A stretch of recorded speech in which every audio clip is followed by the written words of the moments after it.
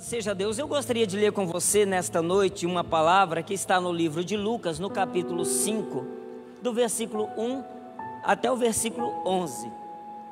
Diz assim a palavra de Deus: Aconteceu que, ao apertá-lo a multidão para ouvir a palavra de Deus, estava ele junto ao lago de Genezaré e viu dois barcos, diga, dois barcos junto à praia do lago.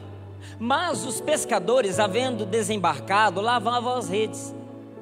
Entrando em um dos barcos, diga em um dos barcos, que era o de Simão, pediu-lhe que o afastasse um pouco da praia. E assentando-se ensinava do barco as multidões. Quando acabou de falar, disse a Simão: Faze-te a largo e lançai as vossas redes para pescar. Respondeu-lhe Simão: Mestre, havendo trabalhado toda a noite, nada apanhamos, mas sob a tua palavra lançarei as redes. Isto fazendo, apanharam grande quantidade de peixes e rompiam-se-lhe as redes. Então fizeram sinais aos companheiros do outro barco, diga outro barco, para que fossem ajudá-los. E foram e encheram ambos os barcos a ponto de quase irem a pique. Vendo isto, Simão Pedro prostrou-se aos pés de Jesus, dizendo: Senhor, retira-te de mim, porque eu sou pecador. Pois à vista da pesca que fizeram, a admiração se apoderou dele e de todos os seus companheiros bem como de Tiago e João, filho de Zebedeu, que eram seus sócios. Disse Jesus a Simão: Não temas, doravante serás pescador de homens. E arrastando-se eles, os barcos, diga os barcos, sobre a praia, deixando tudo, o seguiram. Vamos dizer essa última frase? Deixando tudo o seguiram. Vamos lá? Deixando tudo o seguiram. Aleluia. Quando nós ouvimos a respeito deste texto, nós ficamos imaginando sempre aquela palavra que Pedro afirmou: Senhor, eu trabalhei a noite inteira, eu sou um pescador profissional, ou talvez o senhor não me conheça, mas olha, há muito tempo eu sei até é, quando a época é propícia para pesca, mas eu quero falar para o senhor que eu pesquei a noite inteira, esta noite, e digo para o senhor: olha, não peguei nada. E eu volto a afirmar para o senhor assim que o mar não está para peixe. Mas olha, eu conhecendo o senhor agora, depois de ouvi-lo pregar aqui, sob a tua palavra, ó, com a direção do Senhor, aquilo que o Senhor está me falando, porque eu sinto essa palavra do Senhor que tem peso, tem autoridade. Então, sob a tua palavra, eu vou voltar agora no meio do dia e vou lançar a rede novamente. Porque ninguém melhor como Pedro, como um bom profissional de pesca, sabia que o melhor horário para a pesca era a noite, é o melhor horário onde o peixe circula, o peixe anda. E Pedro, tendo dito essa palavra, Senhor, olha, eu tenho pescado a noite inteira. E o Senhor vê aqui que eu já estou até lavando as redes, porque não pegou nada. Eu estou lavando a rede porque amanhã, quem sabe? Mas depois dele ter ouvido um sermão de Jesus, ouvido Jesus pedir o barco emprestado, pedir para que afastasse um pouquinho para que ele ficasse da, pra, dentro do mar, falando com o povo à beira da praia, porque a multidão apertava ele. Pedro então ficou ali ouvindo aquele sermão. E a palavra de Deus não fala que sermão que Jesus pregou para aquele povo naquele dia. Mas a palavra de Deus é clara que Jesus deu uma ordem para aquele Pedro. Na verdade, a direção de Deus foi para aqueles pescadores que estavam ali, que tinham dois barcos de pesca. E a ordem foi dada: lançai as redes. Se você olhar direitinho, quando foi dita a ordem, foi dado no plural, era para pegar os dois barcos e irem lá e pescar, todos eles irem pescar. Mas Pedro entendeu o mistério, Pedro entendeu a palavra e ele pegou a rede montou no seu barquinho e foi sob a palavra de Jesus e lançou a rede. E diz a palavra de Deus que ele fez uma pesca maravilhosa. Diz que pegou somente peixes grandes. Eu sei que tem alguns pescadores aí que ficam admirados quando pega algum peixinho de um quilo, um quilo e pouco, fica maravilhado. Mas aqui Jesus estava falando que foi grandes peixes, ao ponto de Pedro, naquela hora, poder gritar para aquele barco que deveria ter ido e não foi, e falou para ele: Ops,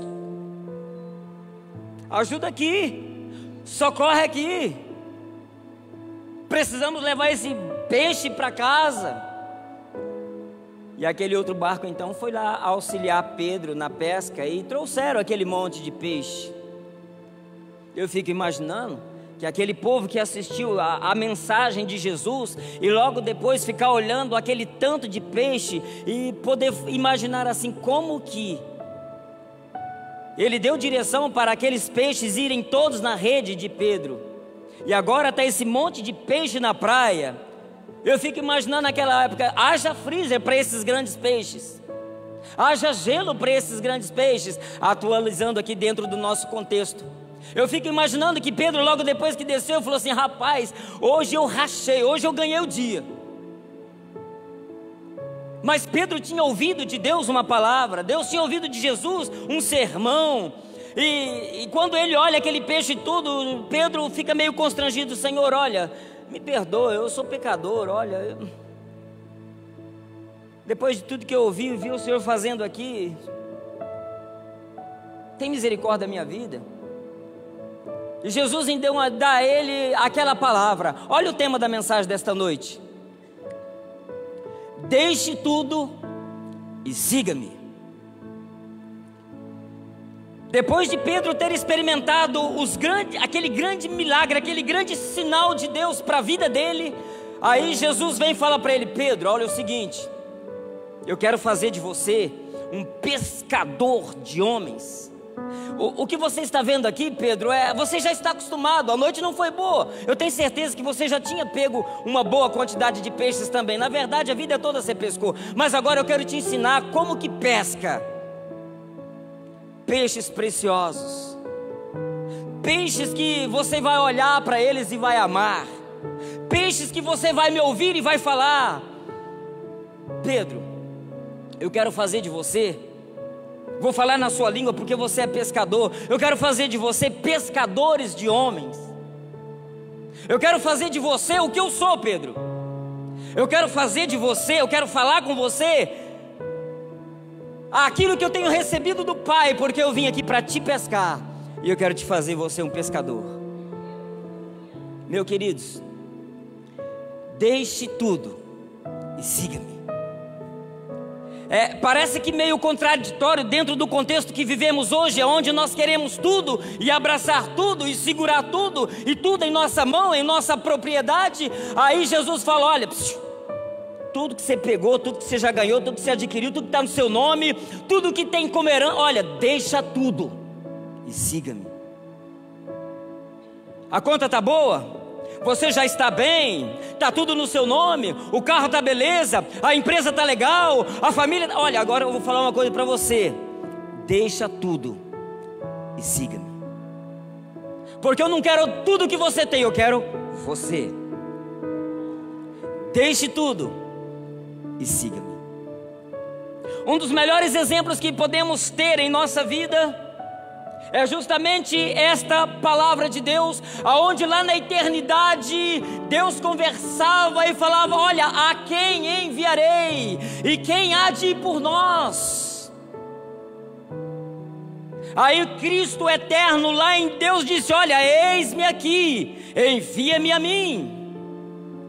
Aí lá no livro de Colossenses fala que ele se despojando, se esvaziando de tudo Imagina ele, ele deu o exemplo, ele deixou tudo para que estivesse aqui comigo e com você, para que alcançasse a minha vida e a sua vida. Quem está entendendo, diga amém. Ele, sendo Deus, veio como homem, assumiu essa natureza que temos e transmitiu aquilo que é dele para nós. E Ele esteve conosco, cheio de graça, alcançando as nossas vidas, alcançando o meu coração e o seu coração, para que hoje nós, entendendo um pouquinho mais de Deus, pudéssemos deixar tudo por causa dEle. Eu falo para você, que levaremos? O que levaremos? Eu estava conversando com o irmão Maurício, ele falou assim: Pastor, o senhor está precisando de alguém para trabalhar? Eu falei: Irmão, já tem um bocado de gente aqui comigo, aqui na obra, aqui do lado da igreja, mas manda o rapaz aqui então. Ô oh, pastor, ele tem três filhos, três filhos pequenos. Ele está desempregado já há algum tempo.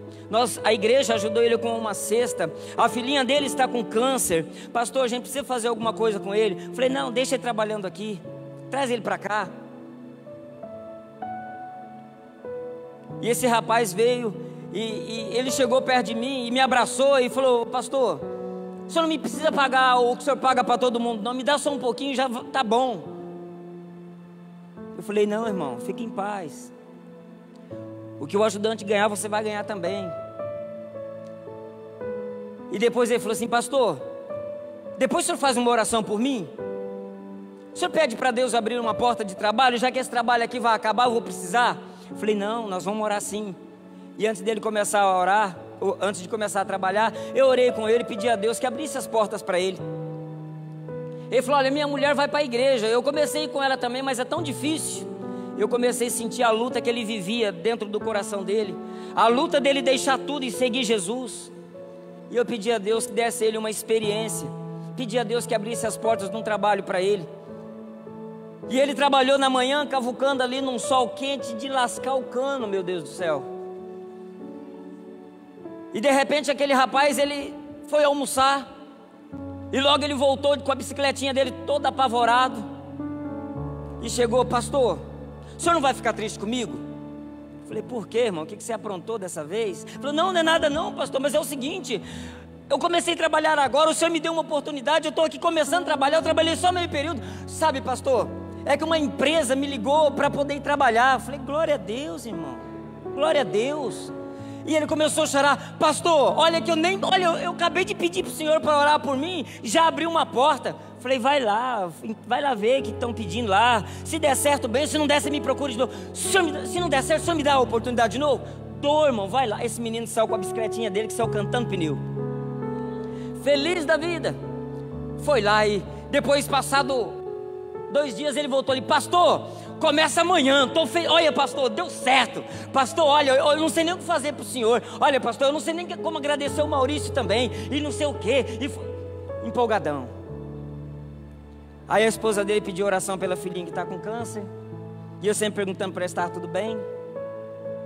Aí o Maurício ontem falou assim, pastor, sabe aquele homem que nós oramos por ele, demos oportunidade para ele? Eu falei, sei. Então, pastor, morreu deu um fulminante dele na porta da casa dele e morreu. Deixai tudo e siga-me, porque não sabemos nem o dia e nem a hora. Olha, queridos, a melhor coisa que podemos fazer, o que Deus nos deu, louvado seja o nome dEle, mas nada do que Ele me deu me prende em nada. Amém? Tudo que Ele me pôs nas mãos não vai me prender. Eu não sei se eu contei aqui há poucos dias também, uma senhora que eu trabalhei na casa dela recentemente. E ela falou assim para mim, pastor, olha, ela me chamar de Edilson, porque ela é católica apostólica romana. Pensa numa pessoa muito bacana. E ela falava assim: Seu Edilson, olha, o seu Deus é o mesmo Deus meu, só que a minha religião é outra, a sua é outra. Mas olha, tenho todo respeito pelo Senhor. E às vezes ela ainda me pedia para orar por ela, pelas coisas dela, pelo cachorrinho dela. Pensa num povo que gostava de cachorro. E ela falou, falou assim, pastor, olha, Edilson, eu comprei, eu vendi um apartamento e comprei aqui do lado da minha mãe. Porque o ano que vem eu vou me aposentar. Já vai dar o meu tempo. Já estou com trinta e tantos anos trabalhando na escola. Não aguento mais barulho de menino. E o ano que vem, e ela ainda disse assim: eu ainda pago um pouquinho a mais da Previdência porque eu quero aposentar um pouquinho melhor. E eu tenho três apartamentos para ter o meu aluguel. O ano que vem eu vou trocar de carro, vou, vou, vou, vou aposentar o meu Fusca, porque ela sempre andou de Fusca. Ia comprar um carro, morando ao lado da casa da mãe. A casa ficou impecável, com piscina, com banheira. Pensa na casa chique. Porque nos planos dela, ela ia trabalhar até o ano que vem e ia aposentar. Como ela estava morando ao lado da mãe, ela falou assim: o ano que vem eu vou ter todo o meu tempo para passear com a minha mãe, para viajar com a minha mãe e Quando o pintor terminou de pintar a casa, porque eu faço só sujeira e depois vê o pintor pintando tudo, aí o Daniel conhece, né? Daniel sabe como é que é isso. Quando o pedreiro vai embora, vem o, o pintor deixando tudo, aí tudo fica lindo, fica maravilhoso. É a culpa do pintor. Quando o pintor foi embora, aí vem a notícia: olha, aquela senhora que você trabalhou na casa dela está aqui no Face, só morreu. Fulminante também. Meu queridos, Deixe tudo e siga-me. O que tem nos prendido? O que tem nos segurado? Será que temos recebido tantas coisas ao ponto de não deixar tudo? Amém? Será que eu vou falar só de morte hoje? Não, em nome de Jesus, vamos embora. Olha, Mateus capítulo 8, versículo 18. Foi só 21? E todos os discípulos lhe disse: Senhor, permite-me ir primeiro sepultar meu pai. Aqui estava um dos discípulos que chega diante de Jesus, diante de um chamado de Jesus, e ele fala: Senhor, olha é o seguinte, deixa eu ir primeiro sepultar os meus pais. E Jesus dá uma palavra tão clara: olha, Deixe os mortos sepultar os seus mortos. Jesus aqui não estava ofendendo aquele que estava tendo um chamado, uma missão. Não, não era isso que Jesus estava fazendo. Jesus estava dizendo para ele: Olha, vem cá, deixa eu te explicar uma coisa. O chamado que você tem é para você deixar tudo. Você não vai deixar de amar, honrar e respeitar aquelas pessoas que você tem na sua vida. Mas olha, Deixe os mortos sepultar os seus mortos, ou seja, não deixa com que as dores dessa vida te tire do propósito. Não deixe que as lutas do momento que você está passando te tire do chamado. Não deixe que as frustrações desta vida te tire. Olha, deixa isso para lá, siga-me. Nós às vezes paramos dentro desse contexto, por causa de uma pequena luta, a gente está abandonando tudo, deixando tudo. Tudo que eu digo é deixando aquilo que eu tenho para fazer, aquilo que é minha responsabilidade. Ninguém melhor do que você sabe para que Deus te chamou. E nós, embaraçados nas coisas desse mundo, estamos deixando para depois. Fazemos propósitos com Deus. Não quero nem citar o nome voto, né? Quantas pessoas fazem voto e depois leva de qualquer jeito. E Deus está falando assim: olha, Olhe naquele que é o autor da vida, deixe os mortos sepultar os seus mortos, ou seja, não deixa ah, os problemas tirar você daquilo que você foi chamado. Quantos aqui acreditam que Deus tem algo tremendo para a minha vida ainda, para a sua vida ainda? Quantos aqui acreditam que Deus pode usar a sua vida para salvar, para abençoar, para curar, para fazer? Quem, quem, quem acredita nisso? Agora, o mais importante, Quantos aqui acreditam que você é a melhor joia que Deus tem nas mãos? Meu querido, então vamos entender isso. Vamos deixar tudo. Por que a dificuldade de buscar a Deus então? Por que essa barreira de, de estar na presença dEle? Então, por que, que não temos tempo então? Fala para mim. Se Ele é tudo, se Ele é o ar que eu respiro, se tudo que eu tenho veio dele, por que então me impede chegar a ele, viver com ele para ele? O que está faltando? Será que o problema está nele? Será que ele não é suficiente para me convencer de que eu sou dele? Eu acho que não, né, queridos? Deixa tudo e siga-me. Deixa tudo É um desafio para a nossa vida hoje. Principalmente hoje, num culto de busca do Espírito Santo. É, será que eu serei capaz de levantar da minha cadeira, deixar tudo e vir a um apelo no altar? Será que eu sou é, corajoso demais para isso? Ou eu não terei essa coragem de deixar tudo para atender um chamado? Eu estou muito bravo? Não, né? Em Mateus capítulo 9, versículo 9, a palavra de Deus diz assim: Partindo Jesus dali, viu um homem chamado Mateus sentado na coletoria e disse-lhe: Segue-me. E ele se levantou e o seguiu. Olha, deixe tudo e segue-me. Vamos dizer juntos? Deixe tudo e segue-me. Vamos lá? Deixe tudo e segue-me. Jesus chegou diante de uma pessoa que estava trabalhando e olha que aquele Levi, ele tinha uma posição tanto quanto elevada, é como se hoje ele fosse ali da Receita Federal, mais ou menos assim, desse nível, a nível Banco do Brasil e coisas dessa natureza. Estava ali ele trabalhando. Jesus chegou nele e falou: "Olha, sentado na, olha, ele estava ali na sua posição de trabalho. Jesus chega nele e fala: "Olha, segue-me. Deixa tudo. Vem comigo." Meu querido, nós às vezes lutamos tantos, trabalhamos tantos para ter uma posição dessa. Não que uma posição dessa esteja errado, seja errado. Não, louvado seja Deus por aquele que alcançam. Mas olha, o melhor de tudo é seguir Jesus. É deixar tudo. Porque Deus pode te dar para você o que você quiser.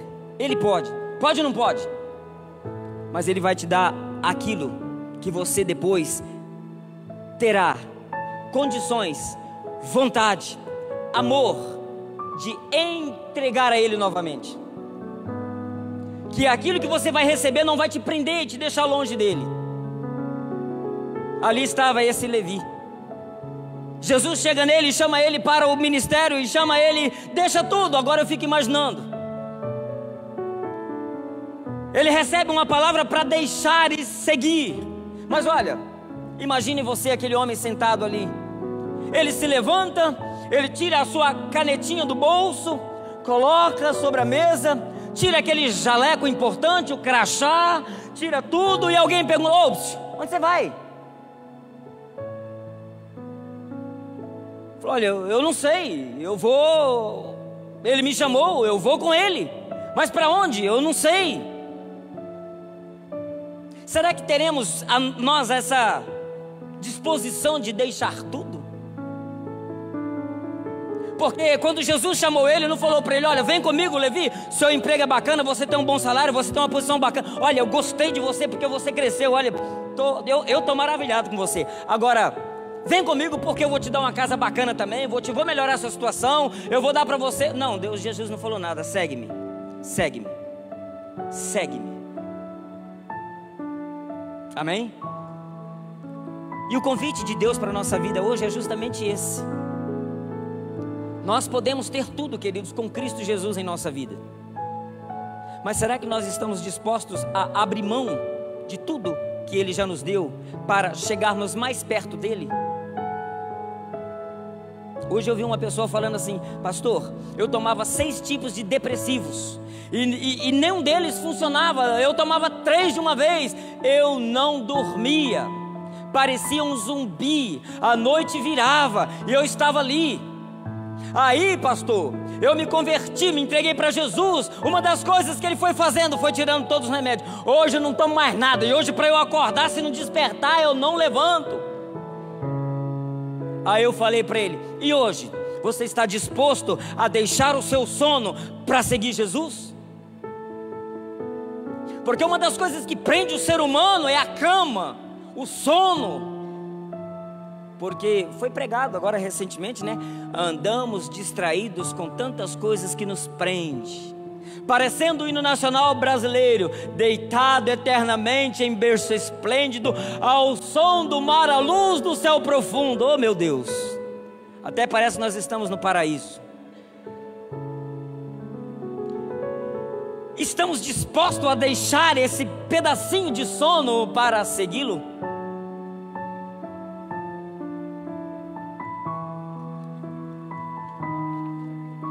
Olha, tem um outro texto muito lindo no livro de João, no capítulo 1, verso 43 até os 50 diz assim: No dia imediato resolveu Jesus partir para a Galiléia e encontrou-se a Filipe, a quem disse: Segue-me. O que, que ele disse? Jesus encontrou e chamou, meu querido. Foi assim com você. Talvez com você o processo foi mais lento ou mais complicado, porque até Jesus te convencer, porque pensa num coração difícil esse tal do nosso coração, não é verdade? Quantas vezes Deus tem falado, quantas vezes Deus tem chamado, quantas vezes Deus tem implorado.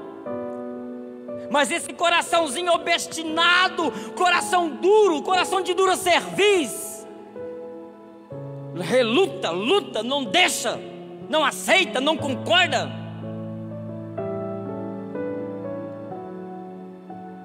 Segue-me. Ora, Filipe era de Betsaida, cidade de André e de Pedro encontrou a Natanael e disse-lhe: Achamos aquele a quem Moisés escreveu na lei, a quem se referiram os profetas, Jesus, o Nazareno, filho de José. Perguntou-lhe Natanael: De Nazaré pode ser alguma coisa boa? Respondeu Filipe: Vem ver. Jesus viu Natanael aproximando aproximar-se e disse a, disse a seu respeito: Eis um verdadeiro israelita a quem não há dolo. Perguntou-lhe Natanael: De onde me conhece? Respondeu-lhe Jesus: Antes de Filipe te chamar, eu te vi quando estava debaixo da figueira. Então exclamou Natanael: Mestre, tu és o filho de Deus, tu és o rei de Israel. Ao que Jesus lhe respondeu: Porque te disse que te vi debaixo da figueira, crês? Pois maiores coisas do que estas verás. Aleluia. Eu só queria abrir um parêntese aqui rapidinho a respeito desse Natanael. Conta-se que José, alguns livros de José, que são livros apócrifos, que conta a história dos hebreus. E lá tem uma história que narra a, a história de Natanael, Felipe e José. E ele fala que esse Natanael, ele tinha a mesma idade que Jesus. E por ele ter a mesma idade de Jesus, ele também estava lá quando Herodes perseguiu as crianças, matando todas as crianças. E sua mãe pegou aquela criança e debaixo de uma figueira muito grande, que era uma caverna, escondeu ela ali e cuidou dela, até que a fúria de Herodes passasse. E o tempo passou, Herodes morreu e pronto, só que depois esse menino cresceu e foi dado para ele uma orientação: não fala que você é judeu, não fala que você é hebreu, não fala que, olha, não fala que você é um galileu, não, não fala, olha, você é qualquer menos isso. Porque vão perguntar: como assim você sobreviveu? Se mandou matar todos os meninos. Passou-se o tempo. Aqui há então há esse grande encontro de Jesus com ele. Aí vem na cabeça de Natanael dizendo assim: Pode vir alguma coisa de Nazaré porque matou todo mundo, não tem. Pode vir alguma coisa boa de lá? Aí depois quando ele recebe o evangelho, ele vem dizendo assim, Jesus fala para ele e ele fala assim: "Senhor, como assim? O Senhor me conhece?"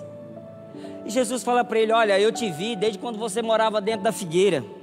Quando você estava lá debaixo da figueira. Ele nos conhece de perto, querido. Ele sabe as mentiras que falamos ao longo de nossa vida, Ele sabe dos enganos que fizemos durante a nossa. Ele sabe tudo a nosso respeito, mas uma das coisas mais lindas, deixa tudo e segue-me. Eu gostaria de convidar o louvor aqui, por favor. E o convite para você, meu querido irmão, é esse desta noite. O que te prende? O que te segura de se aproximar mais de Deus? de chegar mais perto dEle, de andar com Ele, de viver com Ele, de estar com Ele. Será que é o suficiente apenas entrarmos e sentarmos num lugar tão gostoso como esse? não desmerecendo nada, porque aqui dentro é gostoso demais, é maravilhoso demais, o ambiente é bom demais, mas olha, Deus espera mais de mim, Deus espera mais de você. Ele, na verdade, ele fala assim: olha, deixa tudo, segue-me. Quantos convites têm, têm sido ministrados neste altar? Quantas coisas têm sido feitas para que nós estejamos mais perto de Deus? E nós somos os últimos a nos, a nos candidatar para tal coisa, para tal coisa, para tal coisa. Sempre preferimos dizer que o irmão fulano é melhor, ele poderia fazer, não, mas já tem bastante gente. Eu gostaria que você se colocasse de pé.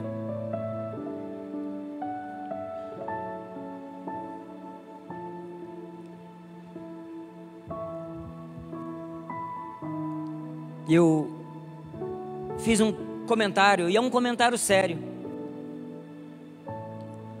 Você seria capaz de deixar tudo numa atitude assim de fé? O fato de você sair do seu lugar e vir no altar, estar aqui do ladinho conversando com Ele, é um sinal de que você está deixando tudo para segui-lo. Deus tem coisas tremendas para a sua vida. Você está disposto? Você pode? Você quer? Eu quero deixar o convite para você. Se você puder, vem aqui, coloca a mão no altar. Deixa tudo. Talvez você está vivendo uma, um momento crítico da sua vida. E não se importa com quem está perto de você, não, é você e Deus. Deixe tudo e siga-me. O convite é de Deus para você. O convite é para a sua vida. O convite é você e Deus. Deixe tudo. Deixe tudo que te prende, tudo que te amarra, tudo que te impede, tudo que te atrapalha. O convite é de Deus para a sua vida. Não precisa se envergonhar com ninguém. Aqui, olha, não tem ninguém melhor do que ninguém. Todos nós precisamos da mesma bênção. E Pedro deixou tudo e seguiu. Num ato de fé, de adoração, de gratidão. Deixa tudo. Deixa tudo aqui.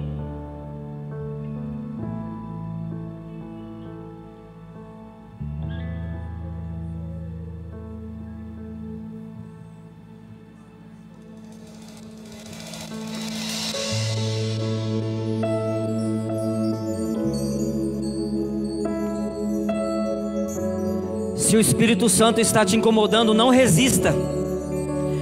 É uma atitude de fé.